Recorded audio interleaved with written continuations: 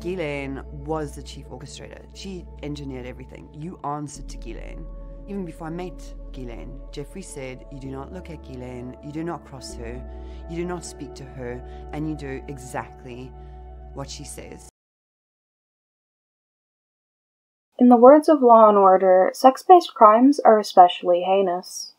Whether it be a singular instance of inappropriate conduct or repeated offences of any form of sexual harassment, those who commit these disgusting acts are often considered to be the worst of criminals, especially those who target individuals who cannot consent. Oftentimes, sexual abusers are men, and media often reflects this, owing to why when men, young or old, are taken advantage of by a woman, it is seen as laughable. However, one evil woman in particular accurately shows the lengths that the greedy, immoral elite will go to in order to maintain a comfortable lifestyle, regardless of what it may cost a young life. This is an in depth analysis of the crimes of Ghislaine Maxwell, who, at the end of 2021, was convicted of human trafficking offences and is infamous for her providing Jeffrey Epstein with underage girls.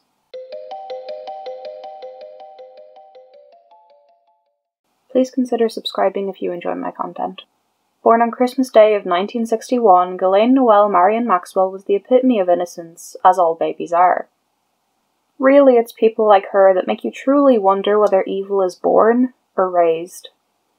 Regardless, the trafficker socialite was born in France on this date before moving to England at a young age. She was raised in Oxford, where she received her education and became a prominent socialite in the 80s.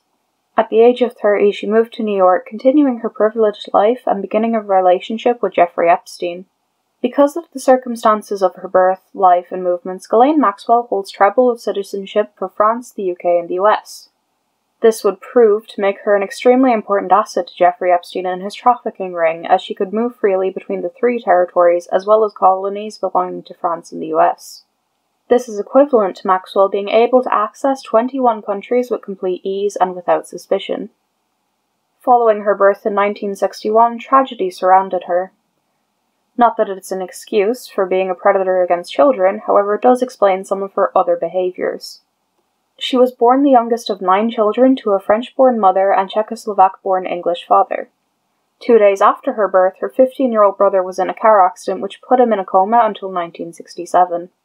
Maxwell would spend much of her young life seeing her brother in a vegetative state. According to Ghislaine's mother, this accident impacted heavily on the entire family, but especially Ghislaine.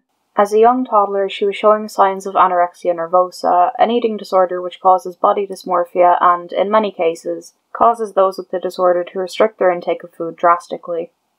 It is an extremely dangerous disorder, and most people affected by it struggle with it for life. Other than the previous mention of her eating disorder, Maxwell's life is generally recorded as being a life of privilege, with her being oftentimes called her father Robert's favourite child. Regardless of these struggles, she lived a life of immense privilege. Her childhood was spent in a 53 room mansion in Buckinghamshire, and many of the activities of her childhood included sailing the family yacht and visitations with royalty and the aristocracy. In 1991, Ghislaine's life took a dark turn when her father, Robert Maxwell, died in extremely strange circumstances, which I'll be taking a look at because the publicity and doubts about friends that came out during the course of the events may give further insight into Ghislaine Maxwell's mentality. After all, are villains born, created, or both? It wasn't unusual for Robert Maxwell to be out sailing his yacht with friends, and it was even less unusual for it to be at such an exotic location as the Canary Islands off the coast of Africa. What was out of the blue, however, was the newspaper tycoon's sudden death, as well as the circumstances leading up to it. Before the man set sail on the Lady Ghislaine, the yacht named after his youngest and most loved daughter, allegations and rumours of Robert Maxwell stealing assets from as many companies were spreading in his social circles. This is where the details get murky. Robert Maxwell was, in fact, embezzling money, and that is where the issue of how he died is raised. The events leading up to November 5th of 1991 had no true credible witnesses. One source, who was on the boat for the duration of Maxwell's cruise, claimed that the man would go to the stern of the yacht every night at 3am and urinate into the water from there. That's a very oddly specific thing for someone to do in private and for someone to know about. It's even weirder when you recall that most luxury yachts do indeed have a toilet. The source of the 3am pissing rumour alleges that Robert jumped to his death rather than being disgraced for the ongoing rumours and held liable. However, one French forensic expert claims that Maxwell had been struck in the head peri mortem and otherwise beaten, while the man who identified the body maintains that Robert only had a single graze on his shoulder when he saw it. In fact, the night that Robert Maxwell died happens to be the same day that one of his sons reportedly had a screaming match with him over the phone. He owed company pensions worth £460 million, as well as having £50 million in outstanding loans which he had failed to repay. The official inquest into his death ruled that he had a heart attack before drowning. However, this debt of almost half a billion British pounds leads many to believe that he was murdered or committed suicide. How exactly did this death affect Ghislaine Maxwell? How could it lead to a spiral of her committing extremely heinous crimes? Perhaps for financial security reasons. Here's a clip of Ghislaine speaking at an event in memory of her father. I also want to take this opportunity to thank all the many hundreds of people who have sent messages of support to us at this very, very sad time. I want also to thank the press for their courtesy and consideration to my mother and to us at this time, which we appreciate very much. Let's take a moment to dive back into her childhood with some discussions about her relationship with her father as she grew from childhood to adolescence. Most of the incidents I'm about to discuss come from an interview with Anna Pasternak by John Sweeney on his podcast called Hunting Ghislaine. It comes from episode 1 Monsters. We learn a lot about Maxwell's relationship with her father from this interview, as well as other sources within the podcast, which is linked in the description for anyone who'd like to check it out. It goes into a lot more detail. More importantly, we learn a lot about Robert Maxwell, Firstly, Anna states that at first she was surprised at Ghislaine ending up in prison, but the more she followed the trial, the more it made sense to her. Anna knew Ghislaine when the accused was quite young and blames her relationship with her father as the reason behind Ghislaine's criminal activities, going so far as to call her a daddy's girl. Before I go into detail on Anna's statement as well as incidents about the Maxwells, I'm going to quickly discuss some of the psychology involved in unhealthy close bonds between a father and daughter. Disproportionately close bonds between a father and daughter can be just as unhealthy, if not more unhealthy, than extremely distant relationships of the same type. However, there are two main directions in which Ghislaine and her father's relationship were going at different points in her life. The first ties into the death of Maxwell's eldest son, which I mentioned earlier. As the eldest, Michael would have been under Robert's wing and training in order to inherit the family business. His death may well have driven Robert Maxwell's stance to become that of an anguished father. He may well have blamed himself for the accident, as he was the one who hired the incompetent driver who fell asleep at the wheel, killing his son. Although there is no public record of Robert's feelings about the accident aside from his wife's memoir describing him as grief stricken, the only reason that I'm putting forward this theory is because of how this type of relationship affects the daughter in the situation. Daughters in these situations often develop risky behaviours or eating disorders because they believe that when they are self damaging themselves, the father will stop their own destructive habits to focus on them. The daughters simply do not know how to respond to their own issues or worries due to having a bad role model, thus, they willingly hurt themselves. What I'm about to mention next encompasses a variety of disturbing topics, including violence, megalomania, and child abuse, as well as discussions of dehumanization by means of humiliation and inappropriate bathroom habits. I'm going to have a field day putting in chapters on this video so people can skip through the rough stuff, I swear. For the purpose of this video, I'm going to quickly explain what megalomania is. Megalomania may be considered a subsect of narcissistic personality disorder, or NPD. NPD is characterized in the DSM 5 as a disorder in which your moods heavily depend on your sense of self esteem and grandiose, setting goals related to gaining approval from others and general disregard for the thoughts and feelings of others unless it relates to that person. Those with NPD tend to form only superficial relationships which are often exploited for personal gain. A megalomaniac, on the other hand, seeks to put down others and humiliate them in an attempt to one up them. They often take extreme behaviors to do so, as you will see in the next piece. Please note that not all narcissists are megalomaniacs, while every megalomaniac is a narcissist. Often, people with NPD do not seek to harm others, turning their goals inward instead. While the argument of correlation versus causation, or born or made, does always apply to disorders like this, offspring of adults who have NPD or megalomaniac traits tend to inherit the disorder or traits. I, of course, am not qualified in any way to diagnose Ghislaine or her father, but it is another possible explanation for why Ghislaine was so easily able to pawn off these victims for material gain. It's also entirely possible that Ghislaine Maxwell simply learned how to use people based on her own father's actions. As we already know, Robert Maxwell was not above embezzlement and fraud, so it's not too difficult to imagine that he had other lucrative methods of getting what he wanted. Of course, we know already that he had narcissistic and megalomaniac tendencies, which I'm now going to detail.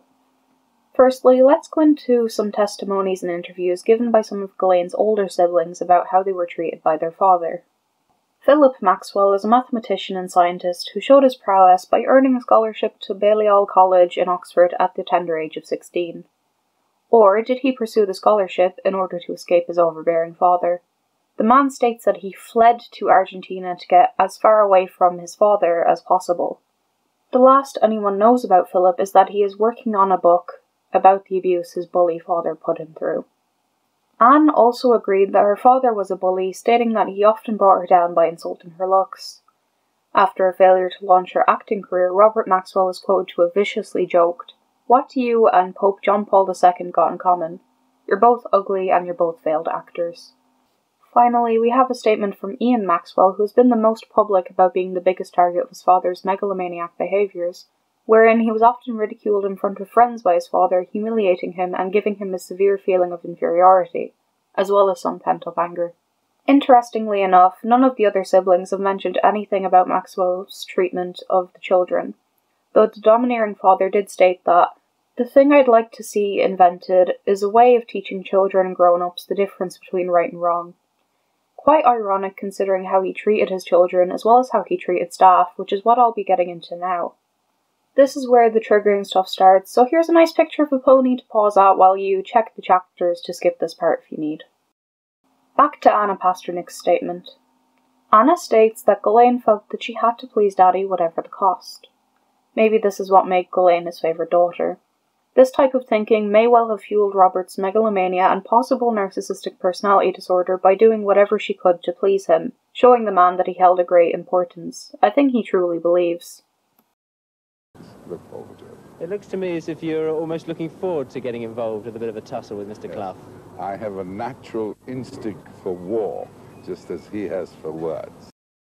Sources close to Robert Maxwell have reported that this was, in fact, not the case, as there are many incidents of him partaking in antisocial and aggressive behaviours. For instance, at one point on top of his famed mirror building, Maxwell urinated on pedestrians below while staff and guests looked on in bewilderment. He took a lot of joy in peeing publicly and defecating with the door open, Reports from staff also state that he used to wipe with clean towels after going to the bathroom and left the scat encrusted towels all over the place for other people to see and be forced to clean up. Philosopher Bertrand Russell stated that the megalomaniac differs from the narcissist by the fact that he wishes to be powerful rather than charming, and seeks to be feared rather than loved. Megalomaniacs seek to insult and degrade others in order to maintain this feeling of power. Of course, the greatest insult and power play in nature is to mark your territory and seek to embarrass others. It's these behaviours that would lead me to label Robert Maxwell as a megalomaniac rather than a narcissist or sociopath, those who use others for better standing by maintaining useful relationships.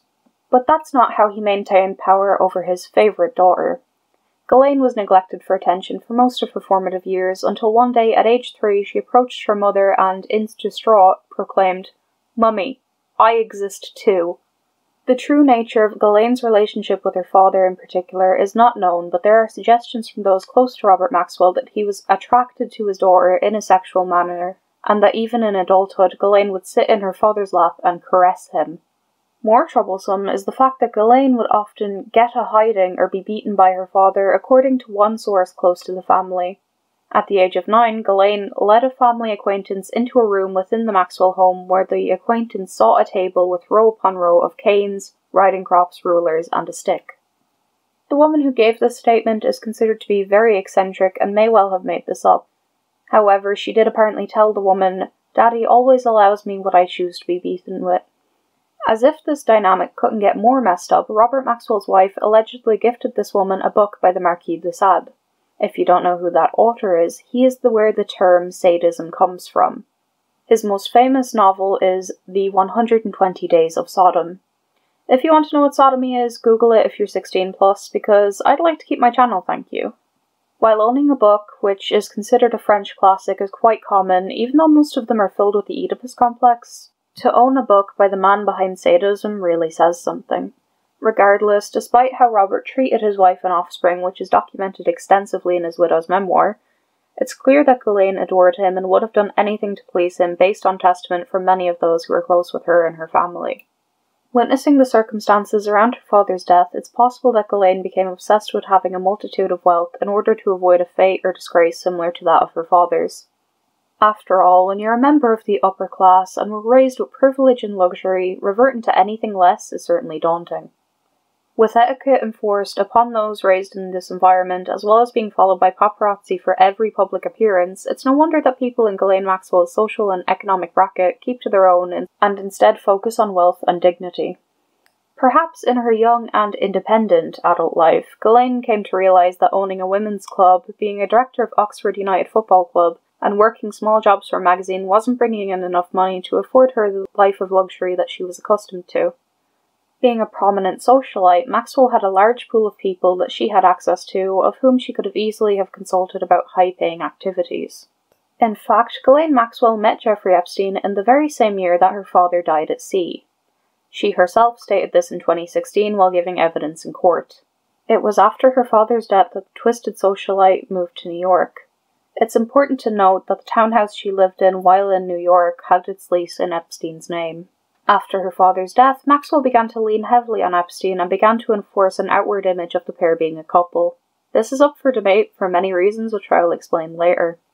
There is no established timeline of when Epstein and Maxwell began their exploitation of underage people. However, one court case, that of Jane Doe v. Maxwell and Epstein's estate in 2020, alleges that the two recruited a 13 year old in 1994 and sexually abused her. This is the earliest timeline documentation of accusations of sexual abuse on minors by Maxwell and Epstein. In fact, the victim infers that Maxwell took part in the sexual abuse several times over the course of the four years that she was under recruitment of the pair. The victim's exact statement was that Ghislaine regularly facilitated Epstein's abuse and was frequently present when it occurred. So, perhaps then money wasn't the sole motivator in Maxwell's participation of Epstein's infamous sex trafficking ring. If she did indeed get involved in the rape of the minors, then it's time to dive into some of the psychology behind sex traffickers in general, from what gets them involved to causes of their sexual deviance. Generally, traffickers use psychological tactics to protect their own minds from the horrors of what they are subjecting their victims to. One such tactic is that of distortion. The Japanese government are the pinnacle of examples of legal traffickers using distortion to distance themselves from the actual term for what they are doing. That's right, the Japanese government are traffickers. Remember that a trafficker, as defined by end slavery now, is anyone who uses force, fraud, or coercion to exact work and profit from others. The Japanese government at present has an internship program which is marketing for foreign workers to combat their labour shortage, listing these positions as opportunities to hone transferable skills. Oftentimes, foreign workers become trapped in debt, bondage, and absolutely must take low paying jobs to offset this debt. This form of internships is very much indentured servitude, also known as labour trafficking. Another form of self protection by traffickers is rationalization. For example, they will take someone from extreme poverty or in a job that does not pay enough and begin to sell that person's body as a pimp. In the trafficker's mind, they are giving the victim work opportunities and effectively saving them from poverty. However, traffickers will often take these mental gymnastics to the next level and justify to themselves that if I don't traffic people, someone else will. This is the exact mindset recorded in sex traffickers in Tenancingo, Mexico. Obviously, these people haven't had their parents ask them, if your friends all jumped off of a bridge, would you? in childhood. Traffickers will also often make a social comparison between themselves and other traffickers in order to justify themselves and dissociate from a more brutal image. For example, An elderly Thai woman who trafficked Rohingya Muslims claimed that this was an act of charity which saved these Muslims from ethnic cleansing in Myanmar.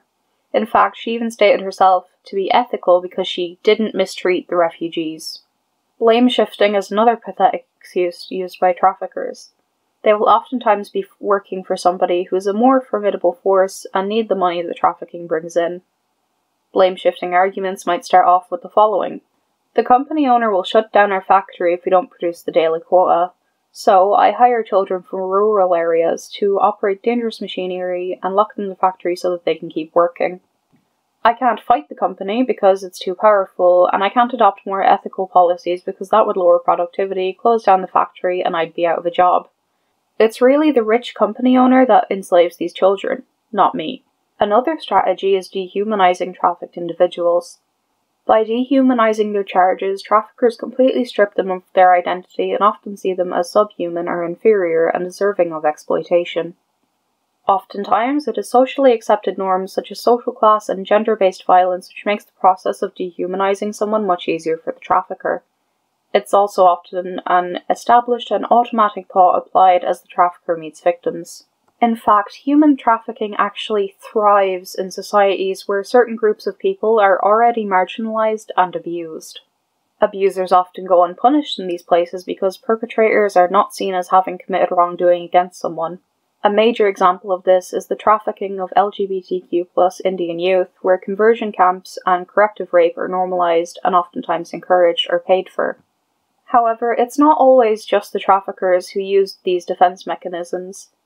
Oftentimes, traffickers have a network of people who know about the trafficking and do nothing about it, contributing to this cycle of enslavement. Even unknowing consumers contribute to the problem, there are those among us who have denied, distorted, and rationalized ourselves into buying slave made products, often items of clothing, both fast fashion and name brand. We've elevated ourselves by saying, at least we don't purchase sex or prostitute others. Of course, this is not targeting those who literally cannot afford any other options, and the fashion industry almost exclusively uses slave labor to make their clothing, shoes, and bags. Because of this, we've deemed the problem much too big to solve and being too beyond our personal influence as a direct result of capitalism and leaving it to the authorities and governments. This has made everyone a player in the dehumanization process.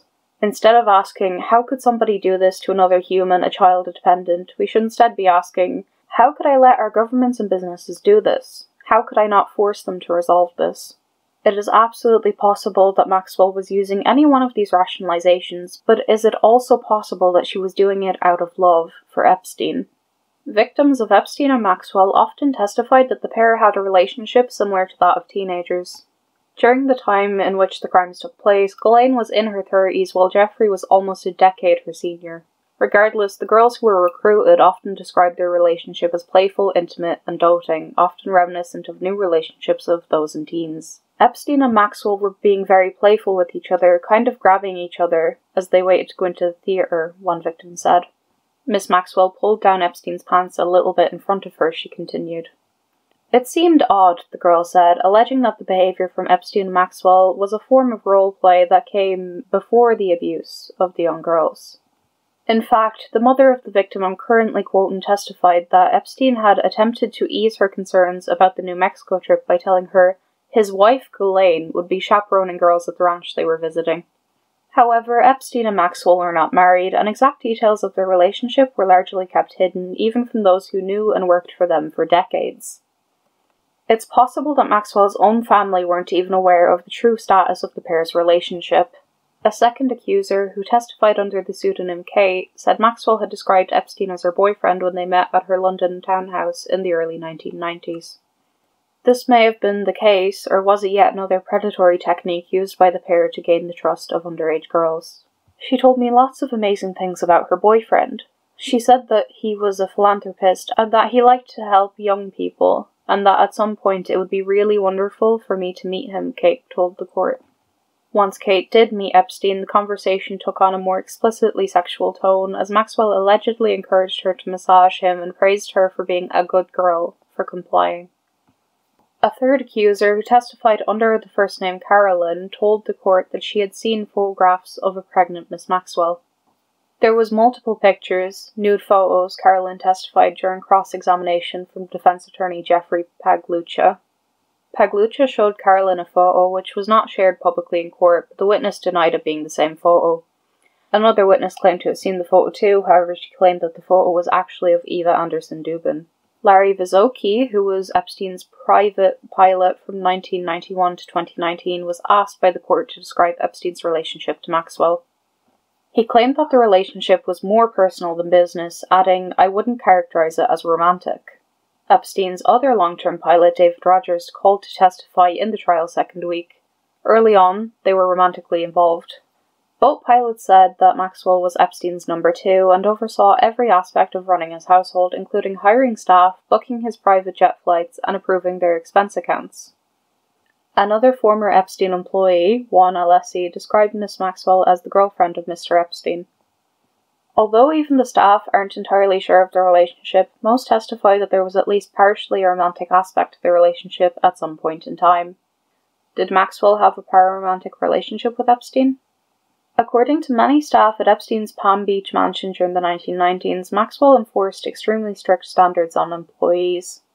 She was often described as the lady of the house and enforced a 58 page manual which outlined in detail exactly how staff were to dress, act, and even answer questions made by officials at the time.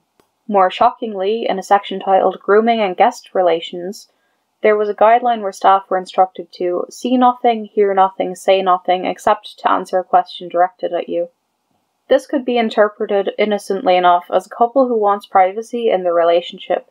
However, within this context, it could also be instructing staff to turn a blind eye to the abuse being inflicted on teenagers in the villa. Mr. Alessi also testified that he was ordered to remove all traces of Miss Maxwell from the home when Epstein was hosting other female guests. This itself is curious because when the FBI raided Epstein's townhouse in Manhattan in 2019, they found a multitude of evidence linking him romantically to Maxwell. This evidence was found recorded on CDs as well as on multiple hard drives. Dozens of photos of the pair showed them kissing and embracing intimately on yachts, private jets, and at black tie events. Some photos even showed them lounging outside together at the Queen's Balmoral estate in Scotland. One of the more intimate photos showed Maxwell massaging Epstein's feet and rubbing them against her cleavage on a private jet. Even if all of this isn't evidence of a relationship, one document created on Word, which is found on a hard drive at the aforementioned Manhattan townhouse, seemed to testify to the fact that Maxwell had a great interest in keeping up the appearance of being a couple. The Word document was created in 2002 by a user called GMax, and it stated that Jeffrey and Ghislaine have been together, a couple, for the last 11 years. They are, contrary to what people think, rarely apart. I always see them together. Ghislaine is highly intelligent and great company with a ready smile and an infectious laugh.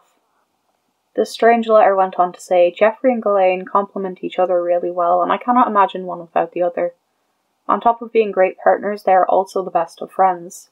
A defense attorney quizzed an FBI investigator who had cloned the hard drive about whether someone else other than Miss Maxwell could have authored the letter, but its purpose was never fully explained. During the two weeks of evidence giving, prosecutors maintained that Miss Maxwell had a financial motive in ensuring Epstein's sexual demands were satisfied. She had not been a particularly wealthy person when she met Epstein in the early 1990s, they said during pre-trial arguments. This would lend itself to the theory that Ghislaine was supplying Epstein with underage girls in exchange for financial assistance. In fact, federal prosecutor Lara Pomerantz stated that Maxwell abused these victims as a means to support her lifestyle. The assistant district attorney went on to elaborate that Ghislaine Maxwell was attempting to keep Epstein happy so that she could stay in the lifestyle to which she was accustomed. After all, with her mogul father dead, Ghislaine Maxwell needed a new benefactor to support her. Mr. Rogers, the second pilot to testify, said that after her father's death, Miss Maxwell moved on from her very large residence on 59th Street on Manhattan's Upper East Side to a small studio apartment on 84th Street. One of the testifiers also stated that Ghislaine had informed her that Epstein had bought her a property in New York. The prosecution then called in an executive from JP Morgan, a global leader in financial services, in order to question them. The executive testified that Jeffrey Epstein had wired Maxwell $30.7 million between 1999 and 2007. Further bank records showed that Ghislaine had purchased a 7.35 million helicopter in June of 2007, soon after a transfer for a similar amount was received from Epstein. In response to this evidence, Maxwell's attorneys attempted damage control by minimizing her relationship with Jeffrey Epstein, claiming that the socialite was simply being used as a scapegoat for Epstein's own crimes. They went on to say that the way in which Epstein compartmentalized his life meant that even those closest to him knew nothing of his true personality or feelings. They then pointed to the committed relationship Maxwell had with Ted Waitt, yet another wealthy businessman who owned his own private planes and was the CEO of Gateway Computers. Does this mean then that Maxwell recruited the young girls out of greed for money? In 2016, she gave a deposition, or evidence in layman's terms, that after Epstein had been jailed, she had continued to work at his properties on occasion while also keeping ties with him. In her statement, she claimed to be a very loyal person. She went on to say that Jeffrey was very good to her after her father's passing. Euan Rellie, an investment banker who attended dinner parties that she and Mr. Epstein hosted in New York, said that she seemed to be half ex girlfriend, half employee, half best friend, and fixer. In July 2019, Epstein was arrested by law enforcement when he arrived on a private jet in New Jersey from France and he was charged with sex trafficking and sex trafficking conspiracy. Some months later, in August, Epstein was found dead in his Manhattan prison cell while he awaited trial with a medical examiner ruling the 66 year old's death suicide. I won't be getting into conspiracy around that for obvious reasons. After Epstein's death, the question of how did he get these girls was raised. Main accuser, Virginia Giuffre, pointed her finger to Ghislaine Maxwell, stating that she was a very important part of the process of recruiting underage girls to be abused. Law enforcement then turned their attention to the socialite who, with her personal fortune of $20 million and passports for three separate administrative areas, had disappeared completely. Almost exactly one year after Epstein's arrest, the FBI raided a remote estate in New Hampshire where Miss Maxwell was found living. She had slithered the way to a gorgeous property in New Hampshire, continuing to live a life of privilege while her victims continued to live with the trauma inflicted upon them years ago, said Bill Sweeney, the assistant director of the FBI's New York field office, as he confirmed her arrest. Prosecutors say that Maxwell refused to answer the door to agents who were forced to break it down and take her into custody. On the 29th of December, a jury found Maxwell guilty on five federal sex trafficking charges. She was found not guilty of one charge, enticing a minor to travel to engage in illegal sex acts. Maxwell could face a maximum sentence of 40 years in prison with these charges. Count 1 Conspiracy to entice a minor to travel to engage in illegal sex acts, maximum sentence of 5 years. Count 2 Enticing a minor to travel to engage in illegal sex acts, maximum sentence of 5 years. Count 3 Conspiracy to transport a minor with the intent to engage in criminal sexual activity, maximum sentence of 5 years. Count 4 Transporting a minor with the intent to engage in criminal sexual activity, maximum sentence of 10 years. Count 5 Conspiracy to commit sex trafficking of minors, maximum sentence of 5 years. Count 6 Sex trafficking of minors, maximum sentence of 40 years. Maxwell's legal team quickly began working on her appeal and launched a separate bid for a retrial after one of the original jurors spoke to the press and revealed he had a personal history of sexual abuse. The defense has said that Juror 50, who spoke publicly under his first name Scotty David, lied about his personal history in a pre-trial verdict, which resulted in an unfair trial. The juror appeared in court on the 8th of March to answer questions on the issue before Judge Alison Nathan rules on the motion for a retrial. He told the judge that while he was going through the paperwork, he was being distracted and answered incorrectly by accident. The retrial was not granted. The latest update in Ghislaine's trial takes place in late April of 2022. She lost her appeal to overturn the sex trafficking conviction she faces, updating her possible maximum sentence to 55 years. Her actual sentence will not take place until June of 2022, but I think I can speak for all of us when I say she deserves to spend her life in the prison instead of meeting the same fate as her financier. If she were to share a fate with Epstein, who also died under suspicious conditions, she would be the third person in this case to commit suicide, or so they say. Of course, there is no need to cover the conspiracy of Jeffrey Epstein's death. The memes and news coverage that spread from his debated suicide in 2019 are still fresh in everyone's minds.